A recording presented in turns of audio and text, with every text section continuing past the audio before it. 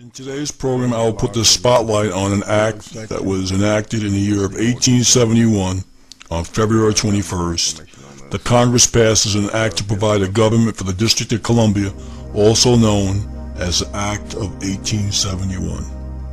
When you fully understand the ramifications of the past, you will then fully understand the ramifications of the present and you will know how to change the future. And here is where our story begins. With no constitutional authority to do so, Congress creates a separate form of government for the District of Columbia, a 10-mile square parcel of land. The act was passed when the country was weakened and financially depleted in the aftermath of the Civil War. It was at that time a strategic move by foreign interests, international bankers, who were intent upon gaining a stranglehold on the coffers and neck of America. Congress cut a deal with the international bankers, specifically the Rothschilds of London, to incur a debt to said bankers. Because the bankers were not about to lend money to a floundering nation without serious stipulations, they devised a way to get their foot in the door of the United States. The Act of 1871 formed a corporation called the United States, all in capital letters. The corporation owned by foreign interests moved in and shoved the original Constitution into a dustbin. With the Act of 1871, the organic Constitution was defaced and in effect vandalized and sabotaged. When the title was capitalized and the word for was changed to of in the title. The Constitution of the United States of America is the Constitution of the Incorporated United States of America in all capital letters. It operates in an economic capacity and has been used to fool the people into thinking it governs the republic. It does not. Capitalization is not insignificant when one is referring to a legal document. This seemingly minor alteration has had a major impact on every subsequent generation of Americans. What Congress did by passing the Act of 1871 was create an entirely new document, a constitution for the government of the District of Columbia, an incorporated government. This newly altered constitution was not intended to benefit the Republic. It benefits only the corporation of the United States of America and operates entirely outside the original organic constitution. Instead of having absolute and unalienable rights guaranteed under the organic constitution, we the people now have relative rights or privileges. One example is the sovereign's right to travel, which has now been transformed under corporate government policy into a privilege that requires citizens to be licensed. An example would be passports. By passing the Act of 1871, Congress committed treason against the people who were sovereign under the grants and decrees of the Declaration of Independence and the Organic Constitution. The Act of 1871 became the foundation of all the treason since committed by government officials. The United States isn't a country, it's a corporation. In preparation for stealing America, the puppets of Britain's banking cabal had already created a second government, a shadow government designed to manage what the common herd believed was a democracy, but what was really was an incorporated United States and conspiring together, this two-headed monster disallowed the common herd all of their sovereign rights under the original Constitution. To fully understand how our rights of sovereignty were ended, you must know the full meaning of the word sovereign, which means chief or highest supreme power, superior in position to all others, independent of and unlimited by others, possessing or entitled to original and independent authority or jurisdiction. This description I have cited can be found in Webster's dictionary. In short, our government, which was created by and for us as sovereigns, free citizens deemed to have the highest authority in the land, was stolen from us along with our rights. It is important to keep in mind here that according to the original Constitution, only we the people are sovereign. The government is not sovereign. Our original Declaration of Independence states, government is subject to the consent of the governed, and that's us. It doesn't take a constitutional historian to figure out that the United States government has not been subject to the consent of the governed since long before you and I were born. Rather, the governed are subject to the whim and greed of the corporation, which has stretched its tentacles beyond the 10-mile square parcel of land known as the District of Columbia. In fact, it has invaded every state of the Republic. Mind you, the corporation has no jurisdiction beyond the District of Columbia. You just think it does. You see, my friends, you are presumed to know the law, which is very weird since we the people are taught nothing about the law in school. We memorize obscure facts and phrases here and there, and our teachers only gloss over the Bill of Rights.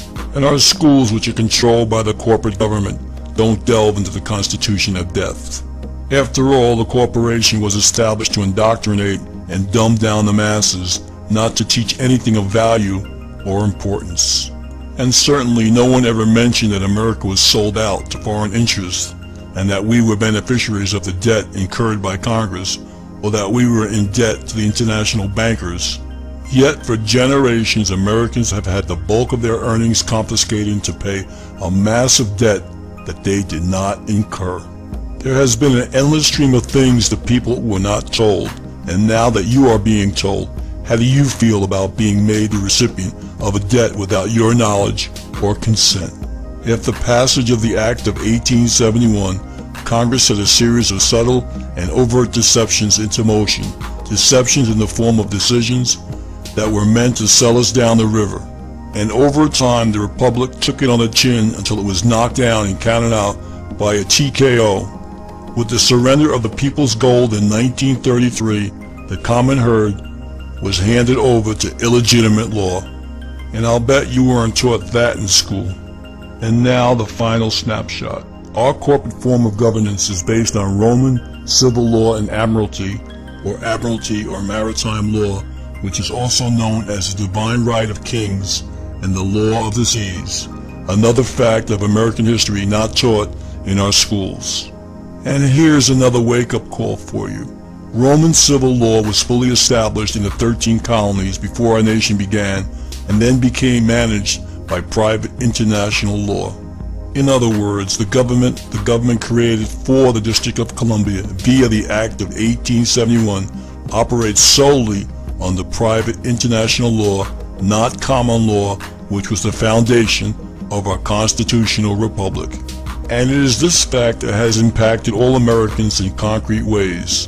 For instance, although private international law is technically only applicable within the District of Columbia and not in the other states of the Union, the arms of the Corporation of the United States are called departments. As an example, the Justice Department, the Treasury Department, and those departments affect everyone, no matter where and what state that you live.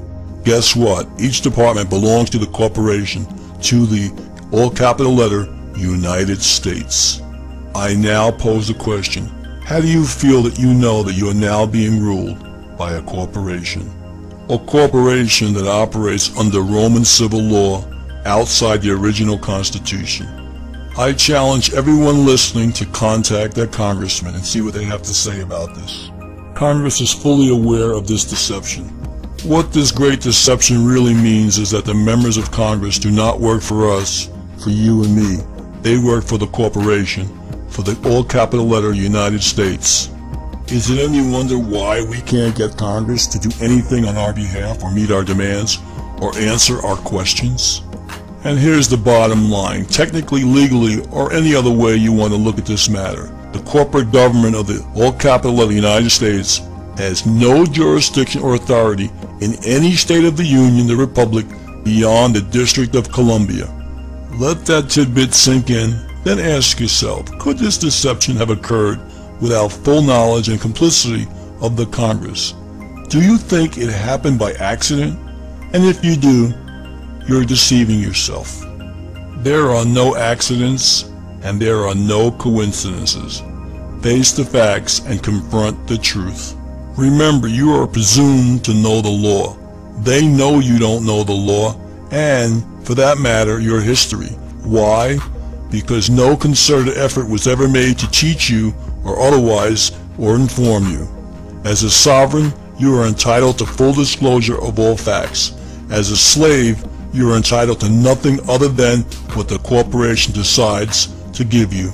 Remember also that ignorance of the law is no excuse. It's your responsibility and obligation to learn the law and know how it applies to you. No wonder the arrogant corporation counted on the fact that most people are too indifferent, unconcerned, distracted, or lazy to learn what they need to know to survive within this system. We have been conditioned to let the government do our thinking for us. Now's the time to turn that around if we intend to help save our republic and ourselves before it's too late. As an instrument of the international bankers, the all capital letter United States owns you from birth to death. It also holds ownership of all of your assets, all of your property, and even your children. Think long and hard about all the bills, taxes, fines, and licenses you have paid or have purchased. Yes, they had you by the pockets. If you don't believe it, read the 14th Amendment. See how free you really are. Ignorance of the facts led to your silence. Silence is construed as consent. Consent to be beneficiaries of a debt you did not incur. As a people, we've been deceived hundreds of years. We think we are free, but in truth, we are servants of the corporation. Congress committed treason against the people in 1871. Honest men could have corrected this fraud and treason. But apparently there weren't enough honest men to counteract the lust for money and power. We have lost more freedom than we will ever know thanks to corporate infiltration of our so-called government. Do you think that any soldier who died in any of our wars would have fought if he or she had known the truth? Do you think that one person would have laid down his or her life for a corporation? How long will we remain silent? How long will we perpetrate the myth that we are free? When will we stand together as one sovereign people? When will we take back what was stolen from us? And in closing, I would like to ask the final question. If the people of America had known to what extent their trust was betrayed, how long would it have taken for a real revolution to occur? What we need now is a revolution in thought. We need to change our thinking. Then we can change our world. All children deserve their rightful legacy, the liberty our ancestors fought to preserve, the legacy of a sovereign and fully free people. If we do not learn from the past, we'll be doomed to repeat it. I'd like to thank everyone for watching The Act of 1871.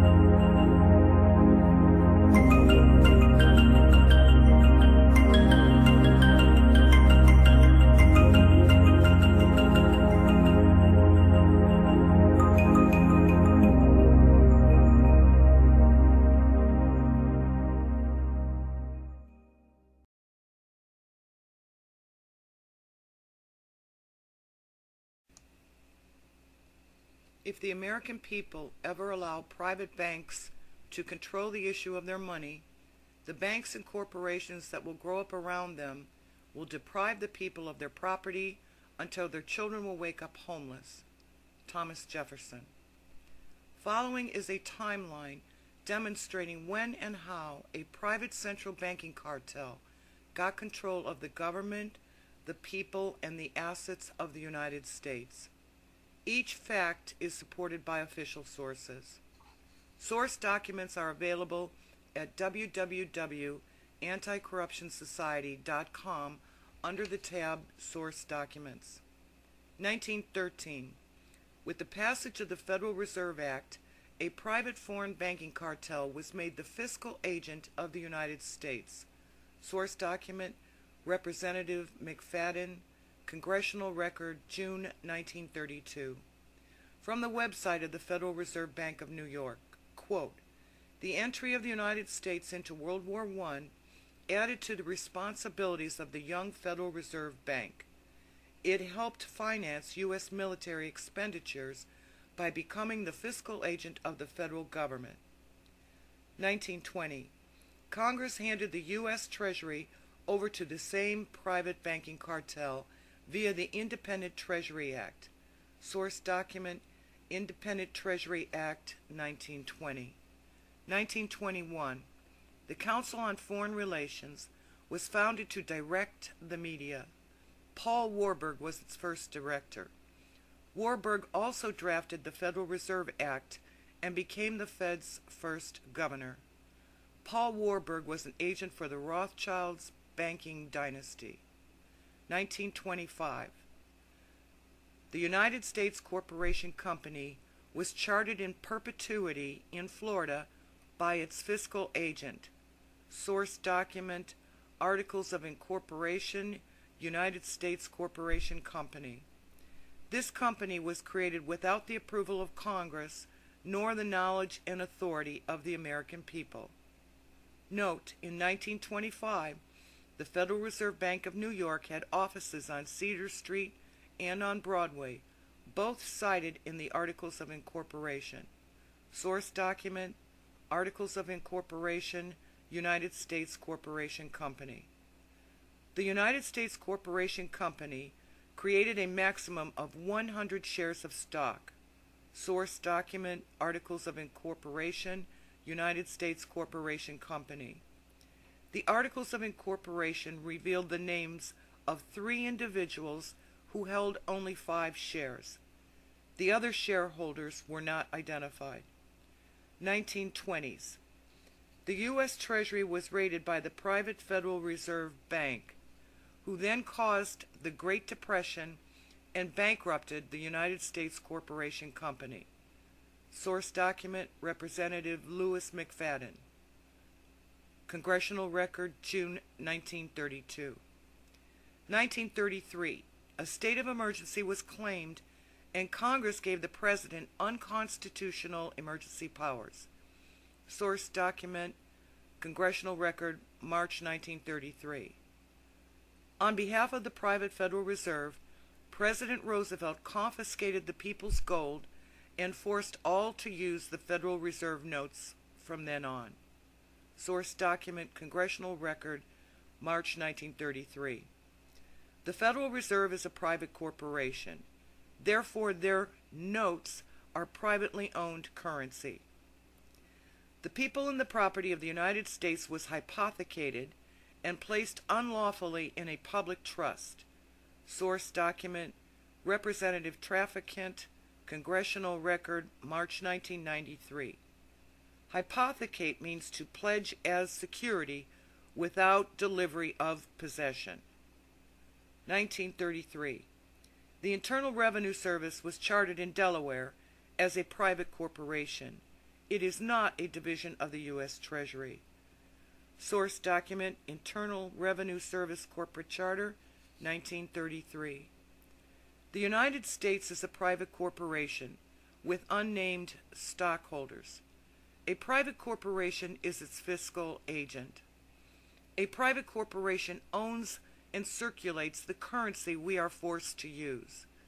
A private corporation expects us to pay them taxes. The U.S. CEO, the President, has maintained unconstitutional emergency powers for the past 80 years. Source document Senate Report 93549 and continuation of the national emergency 2012-2013. Quote, all United States offices, officials, and departments are now operating within a de facto status in name only under emergency war powers, with the constitutional Republican form of government now dissolved. Source document Representative Traficant, Congressional Record, March 1993. Today, as has been demonstrated, the United States is just a corporate franchised network represented by their all caps names, such as State of Ohio. Corporate statutes have replaced laws. A corporate statute is a rule of a corporation given the force of law by the consent of the parties.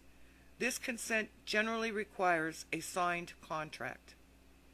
From Judge Dale, author of The Great American Adventure, page 102. Quote, the federal and state governments are not real. They are privately owned corporations called governments, and the law is nothing more than their corporate regulations called statutes. Unquote. As corporations have no souls to save nor bodies to incarcerate, they are just dead legal structures. A dead legal structure cannot represent living people nor obligate living people to laws. Therefore, a corporation cannot be a sovereign government. It can only be a legal structure for commercial contracts, which is all the so-called United States government franchise network is. From Judge Dale's The Great American Adventure, page 10. Quote, all of this deception is compounded by the refusal of ordinary Americans to realize, know, or understand that it is this secrecy and duplicity of privately owned corporations being surreptitiously portrayed as American agencies and government that they have come together to fleece the American people. For more information, read Judge Dale's The Great American Adventure. Free online at anticorruptionsociety.com.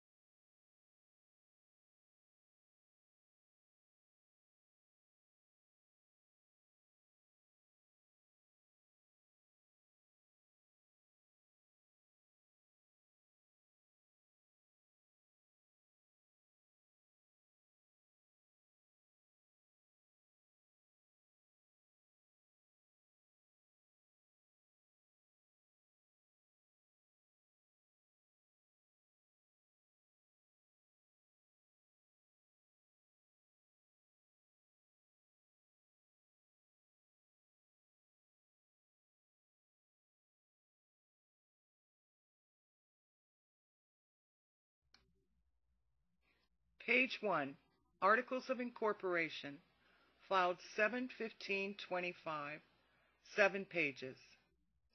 Page 2, Certificate of Incorporation of United States Corporation Company, filed in Office Secretary of State of the State of Florida this 15th day of July, A.D. 1925. Signed by H. Clay Crawford, Secretary of State. United States Corporation Company, Dover, Chicago, Albany, St. Louis, Jersey City, Philadelphia, Los Angeles. International Corporation Company, Rue de la Paix, Paris. Executive Office, 65 Cedar Street, New York City. Page 3. Received July 15, 1925, State of Florida. Certificate of Incorporation of United States Corporation Company. Number 1. The name of the corporation is United States Corporation Company. Number 2. The nature of the business and the objects and purposes proposed to be transacted, promoted, or carried on by the corporation are as follows. To prepare or cause to be prepared and procure to be filed, recorded, registered, published, issued, or granted in accordance with law articles or certificates of incorporation, applications for letter patent, charters and other instruments relating to the incorporation and organization of corporations and joint stock companies, to prepare or cause to be prepared and procured to be filed, recorded, registered, published, issued, or granted, certificates, reports, statements, applications for licenses to do business, or other instruments in relation to domestic and foreign corporations, companies, or associations. To provide and maintain domiciliary and other offices and facilities for corporations, companies, and associations, and to act as agent in charge thereof, and upon whom process against or any official notices to any such corporation, company, or association may be served or given, and for any other lawful purpose. To act as the fiscal or transfer agent of or registrar of the stock or securities issued by any public or private corporation, and in such capacity to receive and disburse money. Page 4. To transfer, register, countersign, issue, and deliver certificates of stocks, bonds, or other evidences of indebtedness, and to act as agent of any corporation, foreign or domestic, for any lawful purpose. To carry on the business of an appraisal and audit company, and in connection therewith, to make examinations and appraisals of the business and property of corporations and individuals, to examine and audit their books and accounts, and to make reports and certificates in respect thereof, to publish and deal in books, periodicals, pamphlets, legal forms, and blanks of all kinds, to acquire by purchase or otherwise, and to hold for investment or otherwise, to use, sell, lease, or dispose of real estate and real property, and any interest, estate, or rights therein, to acquire by purchase, subscription, or otherwise, and to hold for investment or otherwise, and to use, sell, or dispose of shares of stock, bonds, or any other obligations or securities of any corporation, domestic or foreign, to aid in any manner any corporation whose shares of stock, bonds, or other obligations are held or in any manner guaranteed by the company, or in which the company is in any way interested, and to do any other acts or things for the preservation, protection, improvement, or enhancement of the value of any such shares of stock, bonds, or other obligations, or to do any acts or things designed for any such purpose. And while owner of any such shares of stock, bonds, or other obligations, to exercise all the rights, powers, and privileges of ownership thereof, and to exercise any and all voting powers thereon, to acquire by purchase or otherwise, and to hold, own, use, grant licenses in respect to, or otherwise turn to, account or dispose of any copyrights, trademarks, inventions, patent rights, and letters patent of the United States or of any other country. The business of the corporation is from time to time to do any one or more of the acts and things herein set forth, and it may conduct business in the state of Florida, other states, the District of Columbia, the territories and colonies of the United States, and in foreign countries, have one or more offices out of the state of Florida, and hold, purchase, mortgage, and convey real and personal property with or without of the state of Florida. Number three, the maximum number of shares which this corporation is authorized to have outstanding at any one time is 100, each of which shares shall have a par value of $100. Number four, the amount of capital with which the corporation will begin business is $500. Number five, the corporation is to have perpetual existence. Number six, the principal office of the corporation shall be located in the Centennial Building, Tallahassee, Leon County. Number seven, the number of directors shall be three. Number eight, the names of the directors who shall hold office for the first year of the corporation's existence, or until their successors are elected and have qualified, and their post office addresses are as follows. Page 6. Harry O. Coghlan, 150 Broadway, New York, New York. Samuel B. Howard, 150 Broadway, New York, New York. Arthur W. Britton, 150 Broadway, New York, New York. Number 9. The names and post office addresses of the subscribers of this certificate and the number of shares of stock which each agrees to take are as follows. Louis B. Gunther, 150 Broadway, New York, New York, 2 shares. Samuel B. Howard, 150 Broadway, New York, New York, 2 shares. Arthur W. Britton, 150 Broadway, New York, New York, 1 share. Number 10. The directors and stockholders shall have power to hold their meetings and to have one or more offices and to keep the books of the corporation, except the original or duplicate stock ledger, outside of the state of Florida, at such place or places as from time to time may be designated by the bylaws or by resolution of the board.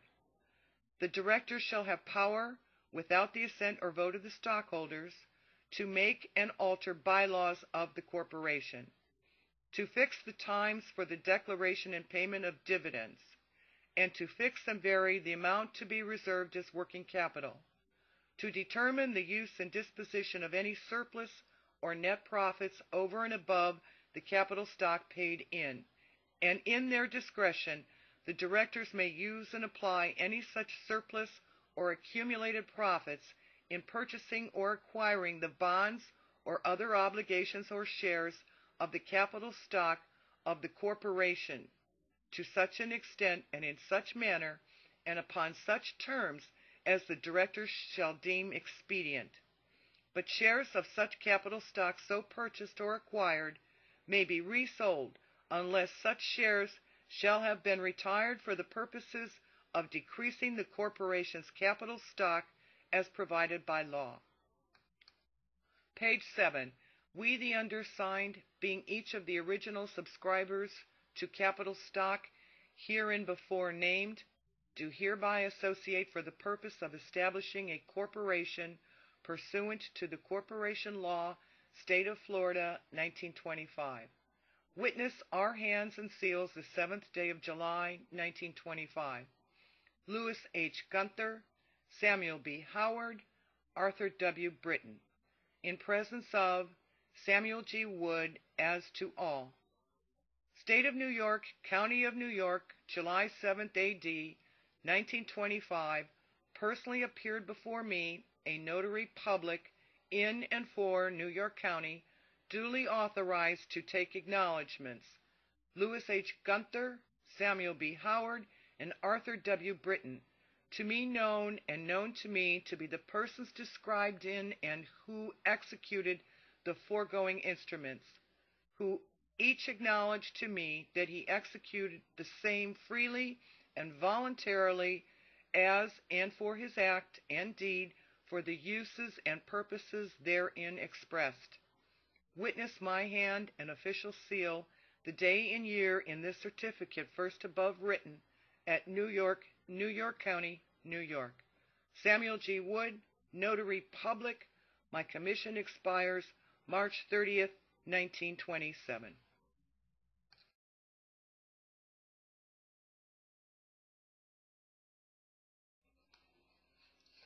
If the American people ever allow private banks to control the issue of their money, the banks and corporations that will grow up around them will deprive the people of their property until their children will wake up homeless. Thomas Jefferson. Following is a timeline demonstrating when and how a private central banking cartel got control of the people and the assets of the United States. Each fact is supported by official sources. Source documents, SD, are available at www.anticorruptionsociety.com under the tab Source Documents. 1913. With the passage of the Federal Reserve Act, a private foreign banking cartel was made the fiscal agent of the United States. Source document Representative McFadden, Congressional Record, June 1932. From the website of the Federal Reserve Bank of New York, quote, The entry of the United States into World War I added to the responsibilities of the young Federal Reserve Bank. It helped finance U.S. military expenditures by becoming the fiscal agent of the federal government.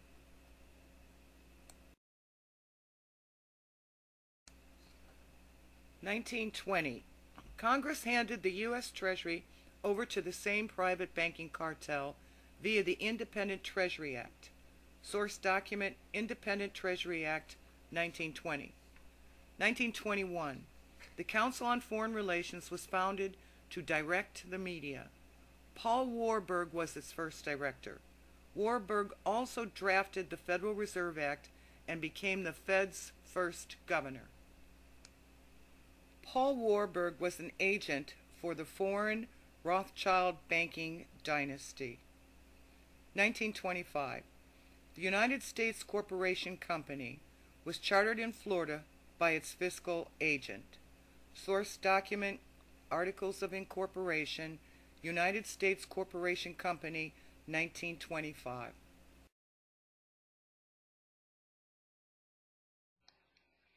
This company was created without the approval of Congress nor the knowledge and authority of the American people.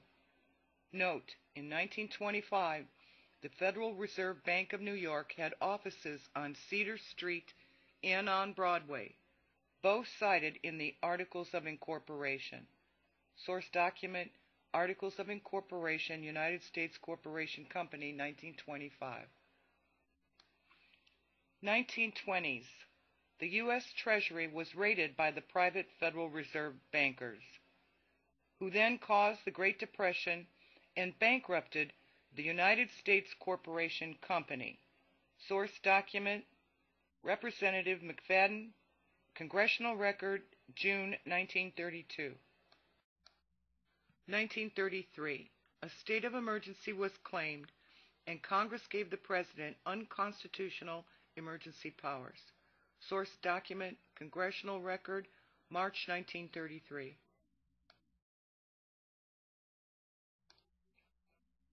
On behalf of the private Federal Reserve, President Roosevelt confiscated the people's gold and forced all to use their private currency, the Federal Reserve note, from then on. Source document Congressional Record, March 1933. The property and the people of the United States was hypothecated and placed unlawfully in a public trust. Source document Representative Traficant, Congressional Record, March 1993. The Internal Revenue Service was chartered in Delaware as a private corporation. It is not a division of the U.S. Treasury. Source document Internal Revenue Service Corporate Charter, 1933. The U.S. President, CEO, has maintained unconstitutional dictatorial emergency power for the last 80 years. Source documents Senate Report 93549, 1973, and Continuation of the National Emergency 2012 2013. Today, as has been demonstrated, the United States is just a corporate franchised network represented by their all cap names, such as State of Ohio. Corporate statutes have replaced laws. A corporate statute is a rule of a corporation given the force of law by the consent of the people. This consent generally requires a signed contract. As corporations have no souls to save nor bodies to incarcerate, they are just dead legal structures. A dead legal structure cannot represent living people nor obligate them to laws. Therefore, a corporation cannot be a sovereign government. It can only be a legal structure for commercial contracts, which is all the so-called United States government franchise network is. From Judge Dale's The Great American Adventure, page 10, quote, All of this deception is compounded by the refusal of ordinary Americans to realize, know, or understand that it is this secrecy and duplicity of privately owned corporations being surreptitiously, falsely, portrayed as American agencies and government that have come together to fleece the American people. For more information, read Judge Dale's The Great American Adventure Secrets of America, free online at anticorruptionsociety.com.